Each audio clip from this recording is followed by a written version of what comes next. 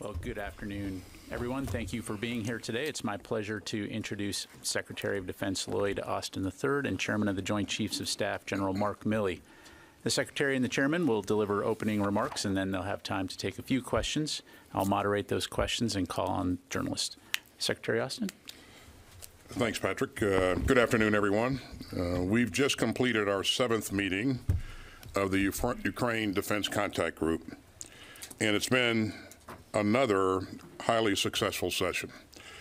Now, we were meeting today as Russia continues to target Ukraine's civilians and bombard its energy grid. But Russia's deliberate cruelty only deepens our resolve. And we'll continue to, to support Ukraine's bedrock right to defend itself and defend the rules based international order. Yesterday, we saw reports of a deadly explosion in Poland near its border with Ukraine. I spoke last night to my Polish counterpart, Deputy Prime Minister and Minister of Def National Defense, Błaszczak, and I conveyed my deep condolences to the Polish people and to the loved ones of those who were killed. I also underscored America's ironclad commitment to defend Poland we have full confidence in the Polish government's investigation of this, of this explosion, and they've been conducting that investigation in a professional and deliberate manner. And so we won't get ahead of their work. We're going to stay in close touch with our Polish counterparts, as well as with our NATO allies and other valued partners. We're still gathering information, but we have seen nothing that contradicts President Duda's preliminary assessment that this explosion was most likely the result of a Ukrainian air defense missile that unfortunately landed in Poland. And whatever the final conclusions may be, the world knows that Russia bears ultimate responsibility for this incident. Russia launched another barrage of missiles against Ukraine specifically intended to target Ukraine's civilian infrastructure. This tragic and troubling incident is yet another reminder of the rec recklessness of Russia's war of choice. And Ukraine has a bedrock right to defend itself. And we will continue to stand in solidarity with the people of Ukraine as they defend their country. And we were joined today, again today, at the, at at the contact group meeting by my good friend Alexei Reznikov, Ukraine's Minister of Defense, and by Deputy Chief of Defense Lieutenant General Moyshuk. I spoke with General Reznikov by phone before this morning's contact group meeting about yesterday's explosion in Poland. And we'll remain in close consultation as we move forward. Ukraine's commanders have shown tremendous leadership and tenacity. And they updated the contact group this morning on the current battlefield dynamics and on Ukraine's most urgent self-defense needs. Ukraine's troops continue to consolidate their gains on the battlefield as they, as they head into the winter. And the contact group continues to push hard to bolster, uh, bolster Ukraine's air defenses in the face of Russia's ongoing barrages. I'm pleased to be able to report that the NASAMS air defense systems that we've sent to Ukraine are now operational, and their performance so far has been very impressive. The NASAM systems had a 100% success rate in intercepting Russian missiles as the Kremlin continues its ruthless bombardment of Ukraine, including yesterday's attacks. We're also working to secure more critical equipment to protect and repair Ukraine's energy infrastructure after Russia's indefensible attacks. We also heard an important update from General Cavoli, our supreme allied commander in Europe. I'm confident that the training efforts spearheaded by the United States and many other members of this contact group will equip the Ukrainian, Ukrainian armed forces with the skills that they need to consolidate their gains and to seize new opportunities on the battlefield. I'd also like to acknowledge the European Union's important efforts here. The EU's training program across Europe will do a great deal to reinforce what other countries are doing bilaterally. Also like to recognize Germany and Poland for their leadership in this larger mission. And let me thank the UK for pledging to train another 19,000 Ukrainian troops next year. The contact group also discussed important industrial based initiatives to sustain our security assistance to Ukraine. Let me also thank the department's acquisition and sustainment team, as well as the co host of the National Armaments Directors Working Group under the, the contact group auspices.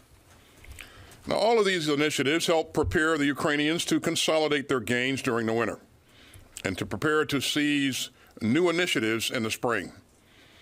And you can see uh, this contact group's ongoing unity and commitment in some of the announcements that its members made.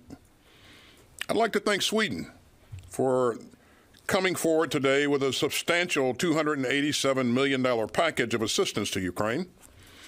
This package includes key capabilities, including an air defense system that will bolster Ukraine's ability to defend itself against Russia's ongoing ruthless attacks. And Spain has promised to send two more Hawk uh, launchers and missiles.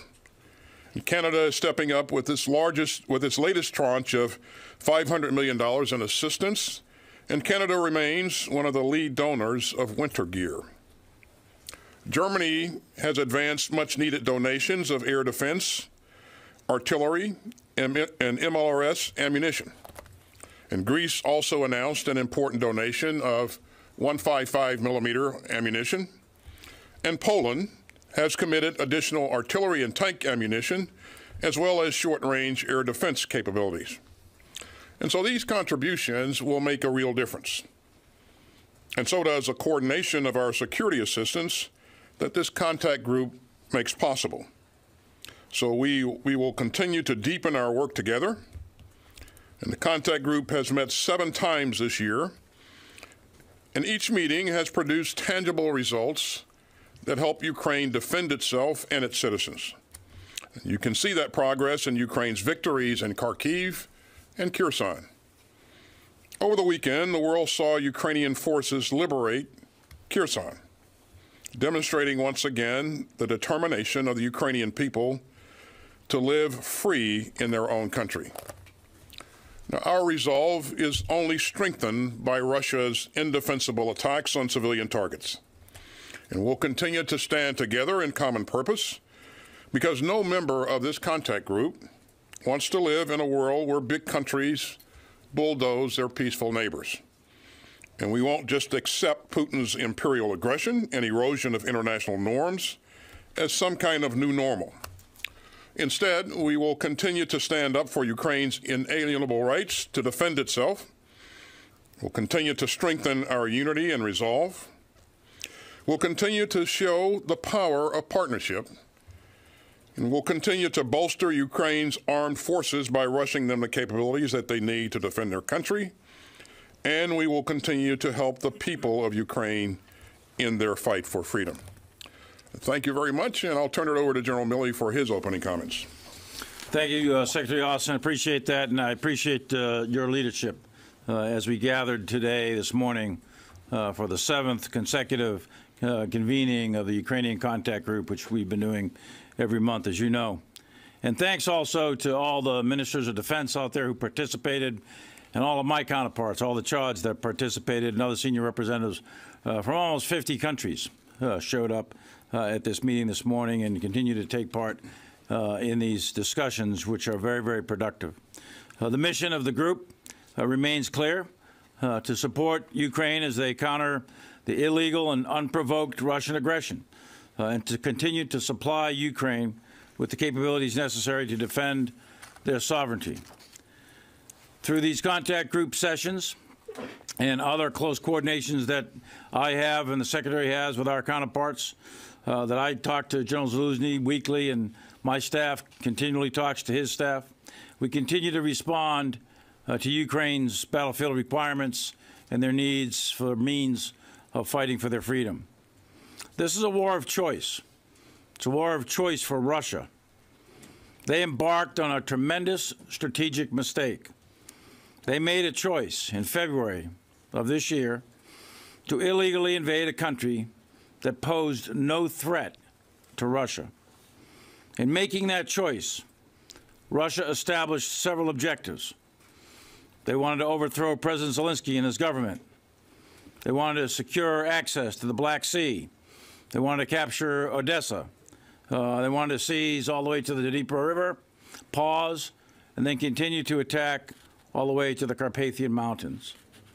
In short, they wanted to overrun all of Ukraine, and they lost. They didn't achieve those objectives. They failed to achieve their strategic objectives, and they are now failing to achieve their operational and tactical objectives. Russia changed their war aims in March and beginning of April. Their war of choice then focused on the seizure of the Donbass, the Donetsk and Luhansk oblasts. That was their operational objectives, and they failed there.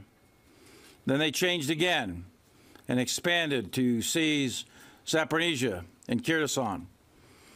These strategic reframing of their objectives, of their illegal invasion, have all failed, every single one of them. And we've just witnessed last week Russia's retreat from Kherson. They retreated across the Dnipro River. They moved to more defensible positions south of the river. Their losses due to Ukrainian success and skill and bravery on the battlefield have been very, very significant. And it's clear that the Russian will to fight does not match the Ukrainian will to fight. On the battlefield, Ukrainians' offensive up in Kharkiv has been very successful, where they crossed the Oskil River and they have moved to the east and are near uh, the town of Svatove. There is a significant ongoing fight down in Bakhmut right now and, and in the vicinity of Seversk and Soledar, where the Ukrainians are fighting a very, very successful mobile defense. There is limited contact right now in Zaporizhia and limited contact in and around the Zaporizhia nuclear power plant. And as we already discussed, Kherson's offensive has been successful. So across the entire frontline trace of some 900 or so kilometers, the Ukrainians have achieved success after success after success, and the Russians have failed every single time. They've lost strategically, they've lost operationally, and I repeat, they lost tactically. What they've tried to do, they failed at. They started this war, and Russia can end this war. Russia can make another choice, and they can make a choice today to end this war. However, Russia is choosing to use their time to attempt to regroup their forces, and they are imposing a campaign of terror, a campaign of maximum suffering on the Ukrainian civilian population in order to defeat Ukrainian morale. The Russians are striking throughout the depth and breadth of all of Ukraine with air launched cruise missiles, with Kalibr sea launched cruise missiles, and with other types of munitions. They are striking the Ukrainian civilian infrastructure, and it has little or no military purpose. While assessments are ongoing, yesterday's strikes looked like they launched at least 60 missiles, and they may have launched upwards of 90 or even perhaps 100, and we'll have better assessments in the days ahead. But it was likely the largest wave of missiles that we've seen since the beginning of the war. These missiles, again, they targeted intentionally and damage civilian power generation facilities to cause unnecessary suffering with the civilian population. We assess now that over a quarter of Ukrainian civilians are without power. The deliberate targeting of the civilian power grid causing excessive collateral damage and unnecessary suffering on the civilian population is a war crime. With the onset of winter, families will be without power and, more importantly, without heat. Basic human survival and subsistence is going to be severely impacted, and human suffering for the Ukrainian population is going to increase. These strikes will undoubtedly hinder Ukraine's ability to care for the sick and the elderly. Their hospitals will be partially operational. The elderly are going to be exposed to the elements. In the wake of unrelenting Russian aggression and incalculable human suffering, Ukraine will continue to endure. Ukraine is not going to back down. The Ukrainian people are hard, they're tough, and most of all, they're free, and they want to remain free. Ukraine is going to continue to take the fight to the Russians. And I just had a significant conversation with my Ukrainian counterpart, and he assures me that that is the future for Ukraine. As Ukraine continues to fight, air defense capabilities are becoming critical for their future success. An integrated system, an integrated air defense system, an integrated air and missile defense system is what is necessary as Ukraine repels Russian aerial attacks. And a significant portion of today's conversations in today's meeting with almost 50 countries focused on how we, as a global coalition, can provide the right mix of air defense systems and ammunition for Ukraine to continue its control of the skies and prevent the Russians from achieving air superiority. To combat continued Russian strikes, last Thursday, the United States announced uh, $400 million in additional commitments to support Ukraine. And those capabilities included missiles for the Hawk air defense systems, which is a complement to what Spain has uh, recently committed. There's other air defense systems included in that 400 million package, along with ground systems such as up-armored Humvees, grenade launches, and additional HIMARS ammunition, and lots of other pieces of equipment. Wars are not fought by armies. They're fought by nations. This war is fought by the Ukrainian people, and it's fought by the Russian people. And this is a war that Russia's leadership has chosen to put Russia into. They didn't have to do this, but they did. And they have violated Ukrainian sovereignty, and they have violated territorial integrity of Ukraine. It is in complete contradiction to the basic rules that underlined the United Nations Charter established at the end of World War II. This is one of the most significant attempts to destroy the rules based order that World War II was fought all about.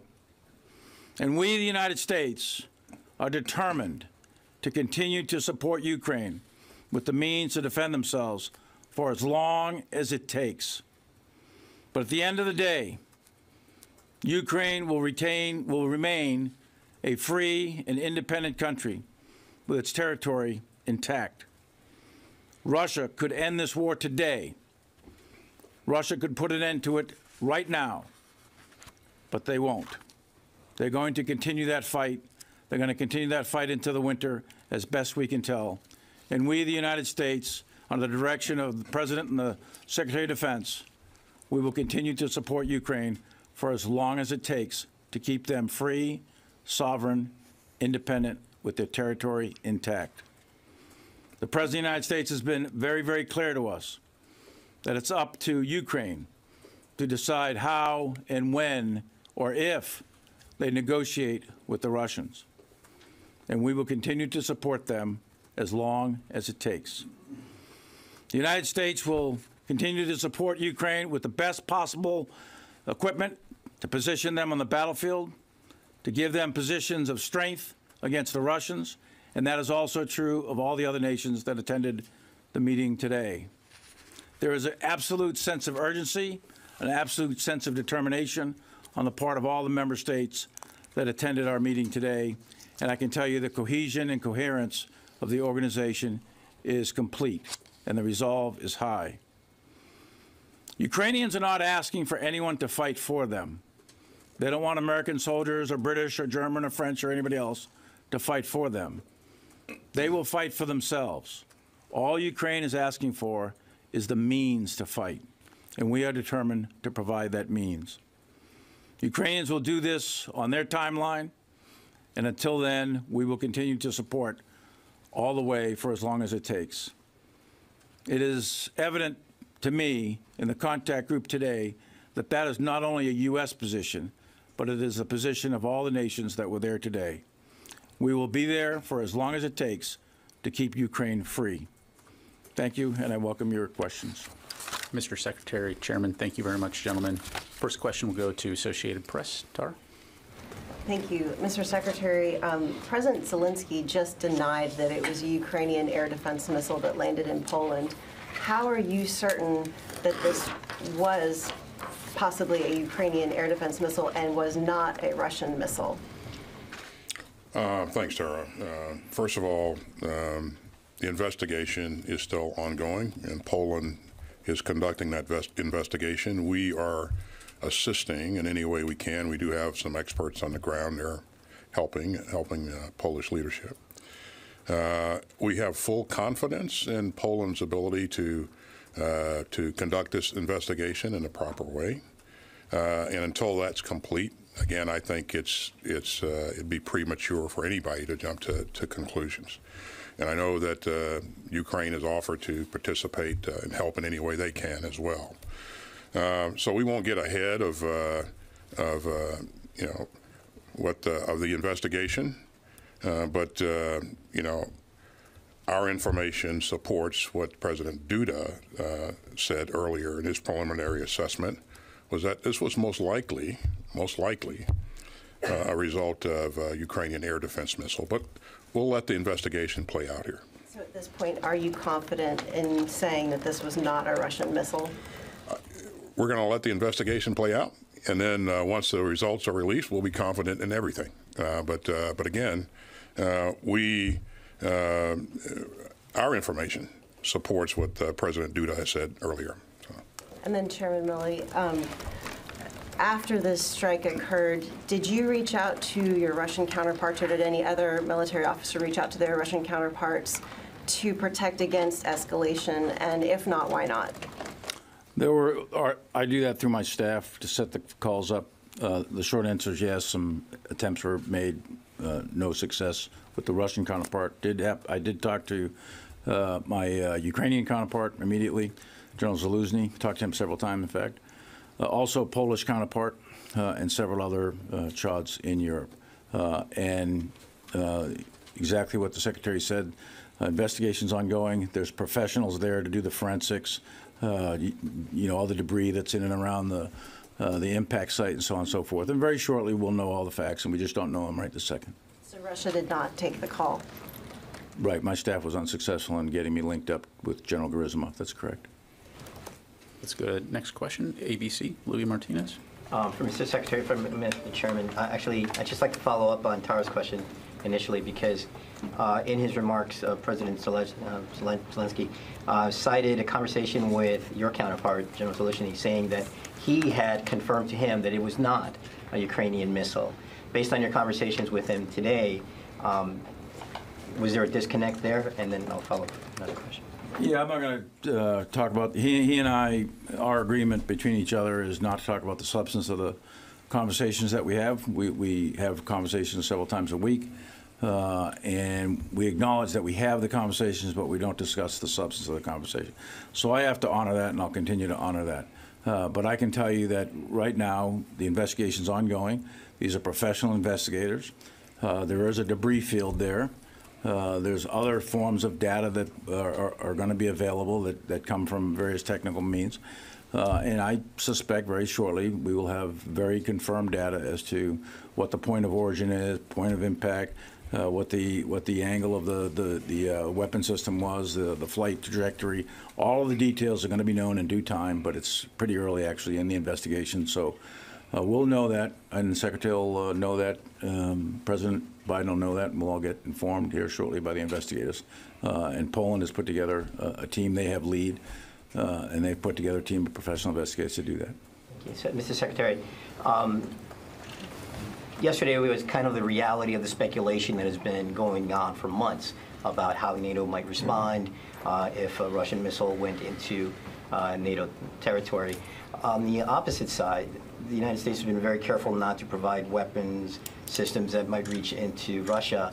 Uh, what about Crimea?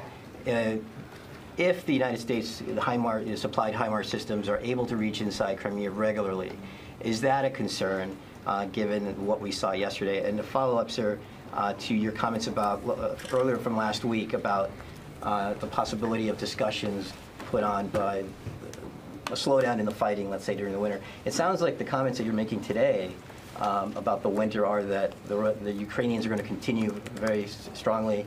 Um, is, are you pulling back from your comments from last week uh, that you see an opportunity for negotiations with the Russians?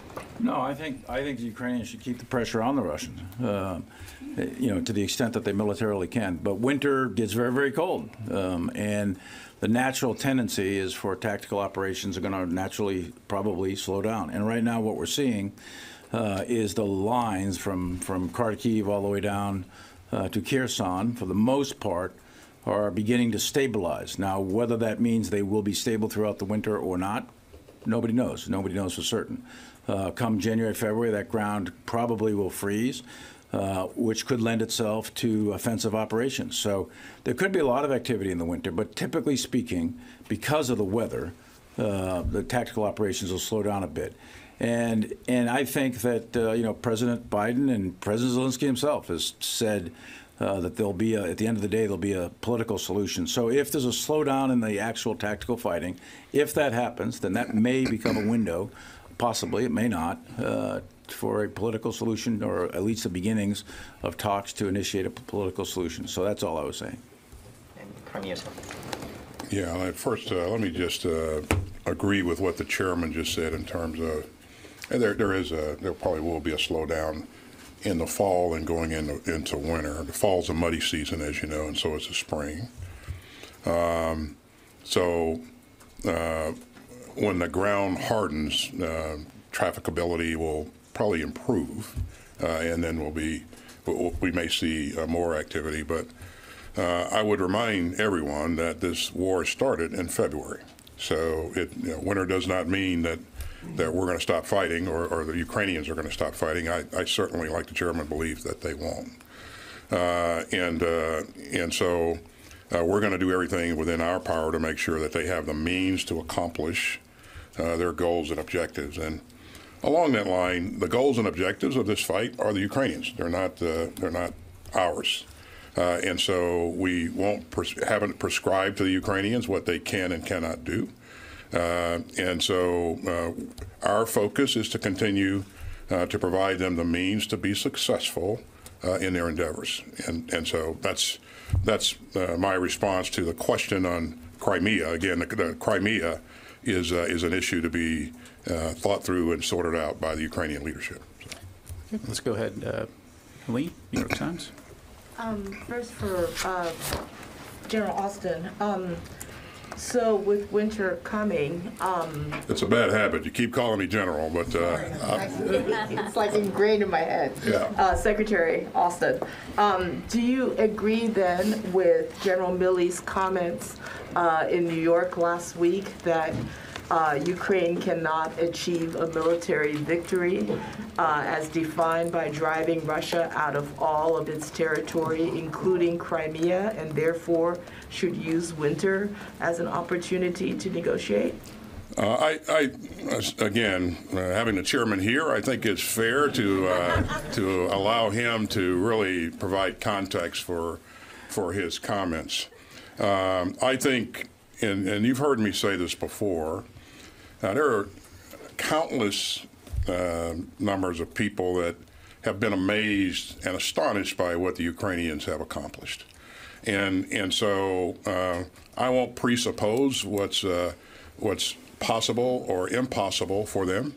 What I am focused on is just making sure that they have the means to do two things. First is to protect themselves and their civilian population from uh, some of the things that we've seen here recently with the aerial uh, bombardments. The second thing is to enable them to achieve their goals and objectives on the ground as they continue to t- try to take back their uh, their sovereign territory. Uh, so you, we're going to continue to support them. And again, um, I think to this point we've seen them uh, come up with uh, very achievable goals and objectives. We've seen a very successful counteroffensive, both in Kharkiv and, and also in Kherson. Uh, and and I think they will continue to keep the pressure uh, on uh, on the Russians going forward. And in terms of what's a good time to to negotiate, you know, we've said repeatedly that the Ukrainians are going to decide that, and not not us. Uh, and we will support them for as long as it takes. Now, we just spent almost four hours with our colleagues there in a Ukraine Defense Contact uh, Group meeting. It was amazing to me how many ministers of defense on their own said, "We're going to do this for as long as it takes." And uh, and so I continue to see unity. I continue to see resolve, uh, and that's very very encouraging. And I think it's encouraging for Oleksiy Reznikov and his team to hear that as well, because as you know, they're they're in the meeting as well. So, yeah. So, Eileen, I'll uh, make a couple of comments. First, on the Russians. I still have a question for you, though. Okay, but let me. Let So me that'll help- be like four let me questions, help I you out think, with this- Let me help you out with this one first. So, uh, start with the Russians. Ukraine's a pretty big country. I- I- This is not a small piece of turf. And uh, the probability of Russia achieving its strategic objectives, of conquering Ukraine, of overrunning Ukraine, the probability of that happening is close to zero. I suppose theoretically it's possible, uh, maybe, I guess, but I don't see it happening militarily. So I just don't see that happening. But they do currently occupy about 20% of that uh, of Ukraine.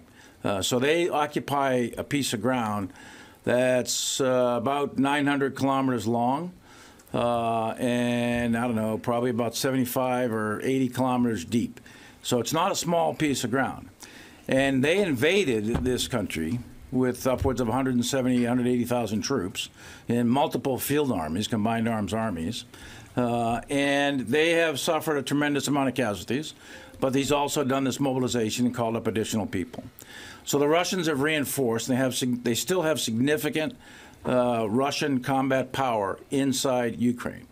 Now, Ukraine's had great success in the defense. They did a, a tremendous job in defeating the Russian offensive. It's incredible what they were able to do. And then they went on the offensive at the beginning of September. And they had great success up in Kharkiv, and they've had better success uh, even down in Kherson, as you just witnessed. But Kherson and Kharkiv, physically, geographically, are relatively small compared to the whole. So that, that the military task of militarily kicking the Russians physically out of Ukraine is a very difficult task. And it's not going to happen the next couple of weeks unless the Russian army completely collapses, which is unlikely. So, in terms of probability, uh, the probability of a Ukrainian military victory, defined as kicking the Russians out of all of Ukraine, to include what they define or what they claim as Crimea, to the probability of that happening anytime soon is not high, militarily. Politically, there may be a political solution where politically the Russians withdraw. That's possible. You want to negotiate from a position of strength. Russia right now is on its back. The Russian military is suffering tremendously. Leaders have been, uh, you know, the leadership is, is really hurting bad. They've lost a lot of casualties, killed and wounded. They've lost, uh, I won't go over exact numbers because they're, they're classified, but they've lost a tremendous amount of their tanks and their infantry fighting vehicles. They've lost a lot of their fourth and fifth generation fighters and, and helicopters and so on and so forth. The Russian military is really hurting bad. So you want to negotiate at a time when you're at your strength and your opponent is at weakness. And it's possible, maybe, that there'll be a political solution. All I'm, all I'm saying is there's a possibility for it. That's all I'm saying. Okay, we've got time for just a couple more. Go to VOA, Carla Babb. Thank you, gentlemen, both for doing this. Um, Mr. Secretary, uh, you've you stressed that the United States and their allies are committed to Ukraine for as long as it takes. How long do you think Russia can continue this war with its current arsenal and its current personnel? And how much has Iran and North Korea's weapons extended their ability to wage this war? And Mr. Chairman, thank you. Uh, you thoroughly answered my question with Luis and Helene, so I'm going to ask you a question on China, if I may. Um, after the meeting with President Biden and President Xi, have you seen any indications that China has changed its ambition to control Taiwan? And, uh, you know, the last time that National Defense Strategy was rolled out, the Pentagon said America's uh, military edge was eroding. Now that this new one has rolled out, is America's military edge still eroding to China? So, thanks, Carla. In- In terms of how long Russia can sustain their efforts, that's left to be seen. I think the chairman just gave a very accurate and compelling uh, um, description of uh, of kind of where the Russians are right now. They're they have some problems. They've had problems since the very beginning of this, trying to sustain their efforts. Um, those problems have only become more acute. They've lost a lot of people, uh, and as important, they've lost a lot of important uh, military gear. So the numbers of tanks that they've lost, the numbers of uh, armored personnel carriers, pretty staggering numbers. Uh, as important, uh, the numbers of precision guided munitions that they've rifled through in this endeavor is striking. But they won't be able to reproduce those uh, munitions very quickly because there are trade restrictions on their that, that prevent them uh, from rapidly gaining uh, uh, microchips and other things that are, are required to produce these kinds of munitions. And so it may take years for them to uh, restock that inventory up to the point that they were uh, before they started this conflict.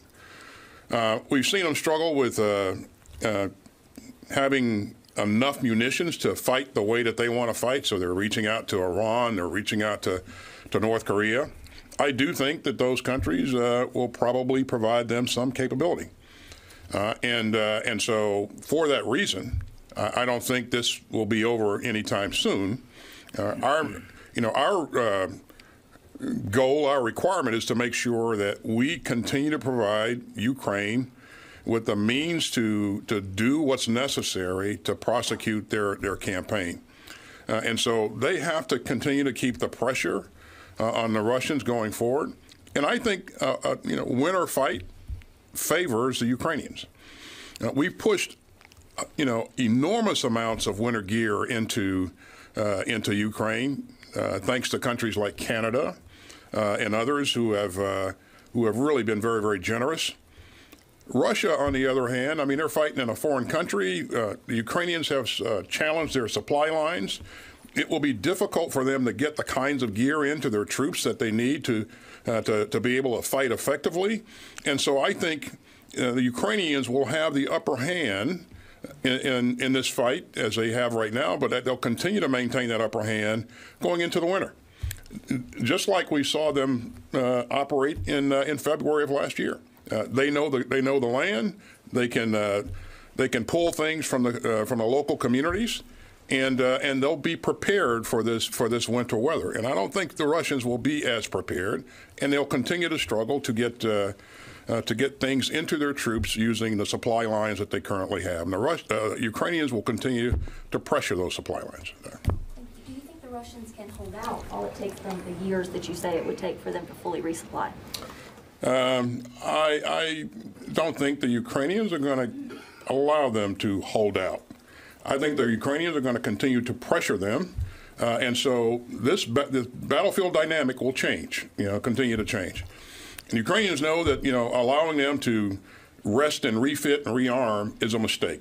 That's a that's a an operational mistake, and I don't believe they're going to make that mistake. And I, I, you know, my goal is to make sure that they have the means to do what's necessary to ensure that they don't hold out. And you had two questions for the secretary, so I get a buy on mine. so look at on China as, as quickly as I can say it. Uh, China is the pacing threat, uh, as we describe it in DoD, is, is part of the national defense strategy. It was, it was defined in the in the previous one, it's defined in the current one as the pacing threat. And what do we mean by that? We mean that China is the one country out there uh, that geopolitically has the power potential to be a significant challenge to the United States, and they are. Uh, they're based on their population, their technology, their economy, and, and, a, and a bunch of other things. Uh, China is the, the, the greatest geopolitical challenge to the United States. And China is not shy about their goal. Uh, they want to be the number one power in the globe uh, by mid century, by uh, 2049. Uh, and, and they want to do that uh, militarily, diplomatically, informationally, economically, and so on and so forth. So they want to be number one by mid-century. By the 19, uh, by the 2030s, uh, mid 2030s, they had previously said they want to be number one regionally. Uh, so they want to have a military that i- outdoes the United States military regionally by the mid 30s. They had previously said that. And then they advanced that goal uh, to, uh, to uh, 2027. So they advanced that goal in, I think it was two party congresses ago or one party congress ago. Uh, and what they have said is that they want to uh, be the equal to or superior militarily to the United States. That's only five years away. So they're working on that, and they're working on that very, very hard. Uh, but we are not static. Uh, and we are working on it. Right now, the United States military is, is without question, despite whatever criticisms people have, the United States military is the most lethal uh, warfighting machine on earth, bar none. Uh, the United States military is number one, and we intend to stay number one. And our task, militaries only have two tasks. We have a single single purpose, really, which is to either to prepare for war or to fight a war. And we are laser focused on that. And we intend to stay number one. China is not going to be a better military than the United States military is, but they're going to try, but they're not going to get there. Uh, we will be number one five years from now, 10 years from now, and 50 years from now. We are not going to let China take number one. They have made gains in a wide variety of areas in cyber and space and, and, and, and land, sea, and air. Uh, so a peasant army of uh, largely infantry based. Uh, you know, when I was commissioned in 1980, that's kind of what Deng Xiaoping had when he when he made his reforms. So he had a very large, dismounted infantry, peasant-based army, more or less. Uh, they had some tanks, but but not much. and then they got rich. They made a massive amount of money with a 10% rise overrun and dropped down to 7%. Maybe it's going to come down to 3 or 4%. But the GDP allowed them to buy a military. And they believe that it's their day in the sun. They believe it's once again time for the Middle Kingdom to be number one. So that's what they're shooting for. And we are not going to allow that to happen. The United States military is number one now, and we are going to be number one five years from now. 2027 is not going to be the date that China becomes number one, and we're going to stay number one the entire time. And as long as we remain number one, then, then we will deter the war that people worry about, a great power war between China uh, and the United States. As long as we have the military capability, we have the will to use it, your adversary knows it, then you'll deter that war. And, but the key is to have the military capability, and we intend to stay number one. One, uh, time for one final question. We'll go to Nikkei, Ryo Nakamura. I thank you very much for taking my question. To the Secretary first, uh, President Biden and the President Xi essentially agreed to maintain the open lines of the communications. Uh, do you expect China will resume some of the military channels, military to military channels they suspended in August after Speaker Pelosi's visit to Taiwan? And are you planning to meet with your Chinese counterpart during your visit to Cambodia next week? And to, to the chairman, also on China, uh, the President Xi consolidated his power in the Chinese Communist Party, and he is now surrounded by his loyal advisors. Uh, how much are you concerned that President Xi might make an ill-advised or ill-informed decision to take Taiwan by force, as President Putin did in the leading up to, to the invasion into Ukraine? Thank you very much.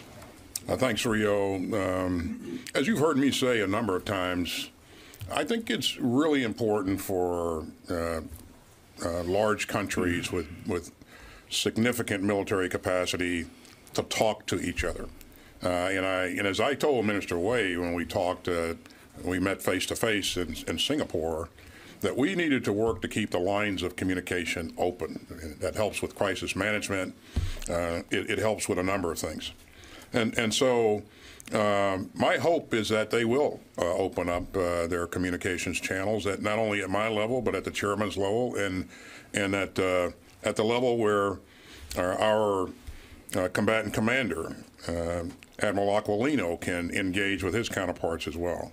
So um, you're right. We will both be in Cambodia here in the near near future. I don't have any announcements to make in terms of any scheduled meetings, but there is an opportunity there, and and so we'll see uh, we'll see how things play out. So I, I think, uh, first of all, you know, President Xi is, uh, I don't know him, I've never talked to him, and, um, and he'll make decisions based on what he thinks is his national interest. Uh, but as best I can tell, he's a rational actor. Uh, I think he evaluates things on cost, benefit, and risk. And I think that he would conclude that an attack on Taiwan in the near future would be an excessive amount of risk and it would end in a strategic, uh, really debacle for, for, for the Chinese military. And I think it would i i throw off their China dream of being the number one economic and military power and so on. So uh, would he do it? Who knows? I don't know. But uh, I can tell you that we watch it closely. We are militarily prepared. Uh, and one of the keys now is to make sure that Taiwan can defend itself. And there are a lot of lessons learned coming out of the Ukraine war. Uh, there's lessons learned for Taiwan. There are lessons learned that we're learning. There's lessons learned European countries learning. And there's lessons learned that President Xi and the Chinese military are learning. And one of the things people are learning is that war on paper is a whole lot different than real war. And when blood is spilled and people die and real tanks are being blown up, things are a little bit different. There's a lot of friction and fog and death in combat. And, and for someone who has, for a military that hasn't fought in combat since uh, fighting the Vietnamese in 1979, they would be playing, uh, you know, a very, very dangerous game to cross the straits and invade the island of Taiwan. They don't have the experience, the background to do it. They haven't trained to it yet. They do peace part training. We watch it very, very closely. Uh, how many, how much amphibious capability they have, how much airborne capability they have. Now they could bomb it, they could missile it, they could attack Taiwan in that sense, but attacking and seizing the island of Taiwan across the straits, putting troops on the island of Taiwan, that is a very difficult military task to do. You've got a large city of Taipei with three, three or four million people, with the suburbs about seven million people. You've got very complex terrain with mountains. Most of Taiwan is a mountainous island. So it's a very, very difficult military objective, a very difficult military operation to execute. And I think it'll be some time before the Chinese have the military capability and they're ready to do it. Now, that could be wrong. That could, an incident could happen. Uh, some sort of political thing could happen in a moment in time, and all of the decisions would change very, very rapidly. But I think that the Chinese would be high risk to take on an operation like that, and I think it would be uh, uh, unwise. It would be a political mistake, a geopolitical mistake, a strategic mistake, similar to what the strategic mistake is that Putin has made uh, in Ukraine. I'll be traveling with uh, with some of you uh, later this week and into next week. But for those uh, who I won't see between now and Thanksgiving, I want to take this opportunity to wish you and your families a happy Thanksgiving. And on behalf of the Department of Defense, thanks for what you continue to do uh, for our nation. Thank you very much. Thank you very much, ladies and gentlemen. That's all the time we have for today.